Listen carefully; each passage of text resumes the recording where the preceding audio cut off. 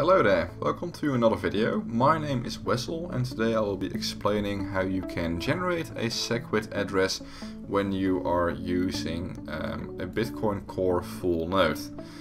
Um, the Bitcoin Core full node, um, or more accurately Bitcoin QT, does not have a option for generating SegWit addresses through the graphical interface, which is an issue for a lot of people. So I'm going to explain to you how you can still um, generate a SegWit address with a few simple steps. So the first thing we need to do is we need to find one of our old normal Bitcoin addresses. Now you can do this in one of two ways. You can go to the Receive tab and generate a new payment request. Um, I've got my client in Dutch, so that's why everything um, is probably not making much sense to you. But just make a new payment request and copy the address that you generated. Or you can use one of your old addresses, which is what I'm going to go ahead and do. This is the address for the donations to Cowlite and I'm going to go ahead and copy this address and I am going to paste it in sticky notes right here. This address is important, um, we're going to need it later. So once we've done that, we want to generate a SegWit address and we cannot do this through Bitcoin QT, so we need to use the command prompt in order to do this. So go ahead and type cmd in your Windows search box and open your command prompt. And then you need to locate your Bitcoin installation folder or your Bitcoin Core installation folder. Now mine is on my C disk at program files and then Bitcoin. Um, yours is probably in the, sim in a similar directory, but it might be somewhere else. Anyhow, navigate to it and go ahead and go to the daemon tab. In here we've got the bitcoin client.exe. Do not launch it, but copy the path to the daemon folder. And then in your command console type cd and then space and then paste your directory. Once you've done this, your command prompt will be set to that directory and we can launch programs that are inside.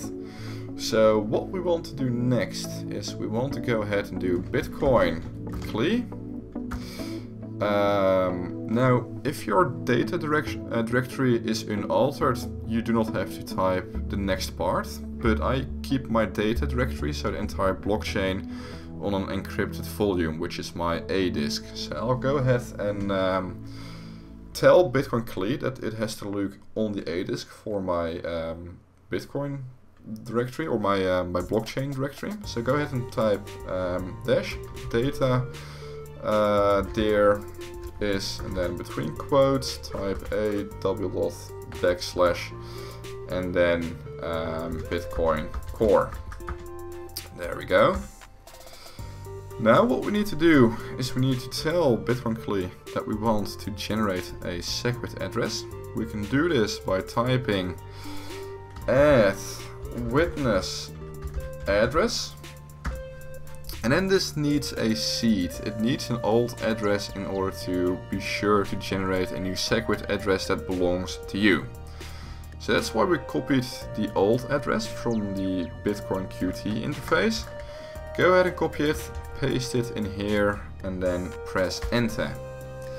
Now it might take a little while, oh, there you go, before it generates an address and once it has you can go ahead and copy that again and paste that in your sticky notes again. Now this address right here, the SegWit address, has to start with a 3. If it does not start with a 3, then it is not a SegWit address. Um, if it does, then it is very likely that it is in SegWit address and that you have correctly followed all of these steps. Anyhow, let's get back to the uh, Bitcoin client. You can go ahead and close CMD right here and let's send a few Bitcoins over there. So let's go to the Send tab and then um, go ahead and copy our SegWit address. Um, paste the address right here, type the amount of Bitcoin that you want to move over. I'm gonna go ahead and move over 0.01 Bitcoin, which is the equivalent of about $100. And then um, we have to figure out our transaction fee. Now, if we go to bitcoinfees.earn.com, we can see what the current tra transactions are. Uh, let me just refresh this page. There we go. So at the moment, the transaction fees are anywhere between 1 and 10 Satoshis per byte. And the chance that we get um, confirmed is high. In fact, it will be anywhere between 20 minutes and 6 hours. So I decided to go ahead and just pay about 8 satoshis per byte, which should be enough to get the transaction through in a fairly decent time. So, Bitcoin Core wants to know the transaction fee in Bitcoin per kilobyte, which I absolutely hate, but unfortunately it's just the way it is. So 1 kilobyte is 1000 bytes, 1 satoshi is a very little amount of Bitcoin. Um, so let's go ahead and do the conversion. We want to pay 8 satoshis per byte, which means that we want to pay 8 times this number times um, the amount of bytes that are in a kilobyte, which ends up to be this very small number right here. Go ahead and copy that number, paste it over here, and uh, well, let's go ahead and send these Bitcoin over. Let's quickly check if everything is correct. Um, 3QU, 3QU, JGZ, JGZ. So the address is correct. We want to transfer 0.1 Bitcoin, which is correct. And our transaction fee is insanely low, which is amazing. Go ahead and hit the send button. Now I have to fill in my password and I am going to um, quickly pause the video here because I don't want you guys to know how long my password is for obvious security reasons. So I'm just going to go ahead and enter my password now. Okay, I have entered my password. Um, let's confirm that we want to send 0.01 Bitcoin to our SegWit address. Um, a very, very low transaction fee. I'm going to go ahead and write that down actually. I want to know how much that is in dollars, 0.0001792. There you go. That is an incredibly low transaction fee, by the way. That's amazing. Okay, and let's confirm that we want to send a transaction. Now, off the Bitcoin Go. Um, when you go back to your main overview, you will see that a transaction happened with only the amount of transaction fee that you paid, which is incredibly low.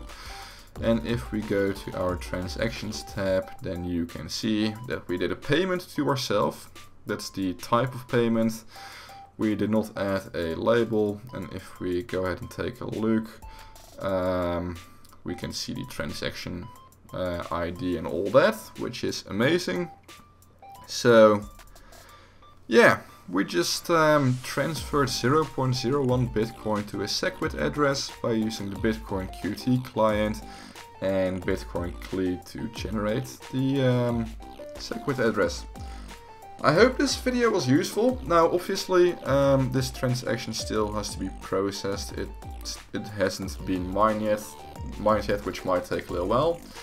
Um, once it has, it will be confirmed, and if it doesn't get confirmed, then in a few weeks the uh, the transaction will be uh, cancelled. So there's no problem there. Um, yeah, I hope this video was useful for you guys. If it was, then please consider hitting the subscribe button and visiting www.cowlite.nl for more information around Bitcoin and um, new technologies that are going to arise. If you want to support me in making more informational informational videos and in my development for the C Bitcoin client, which will be a full node client that I'm developing, then consider donating Bitcoin to the address on my website. Again, www.cowlite.nl.